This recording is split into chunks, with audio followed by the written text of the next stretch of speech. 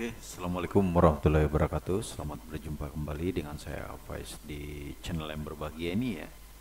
Sahabat-sahabat sekalian, ya kali ini kita akan bahas tentang uh, bagaimana cara memproses pesanan di uh, Lazada ya.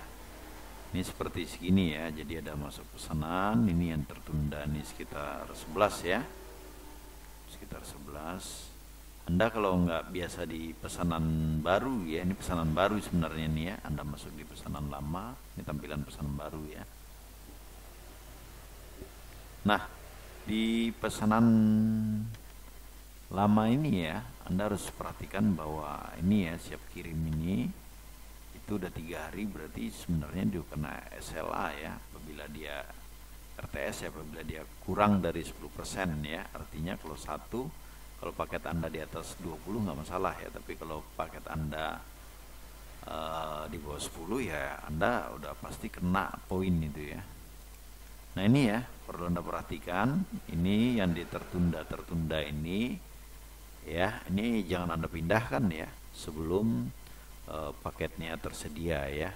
Dan perlu diperhatikan juga ya yang merah silang ini ya apabila anda telah print dia akan berubah ya menjadi hijau ya saya akan buktikan ya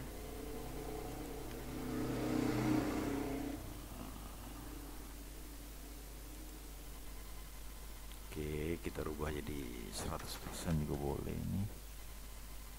Ya ini ya.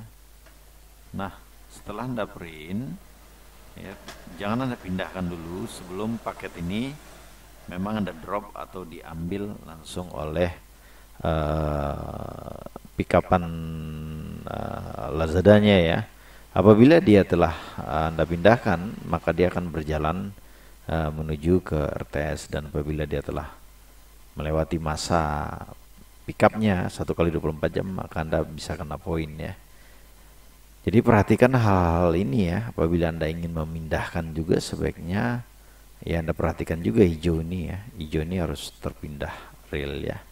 Oke sobat-sobat sekalian, demikianlah sharing sederhana saya tentang bagaimana memproses pesanan di Lazada agar terhindar dari RTS. Salam sukses, salam bahagia, salam sehat untuk kita semua. Jangan lupa bersedekah apabila Anda mengambil manfaat dari video ini.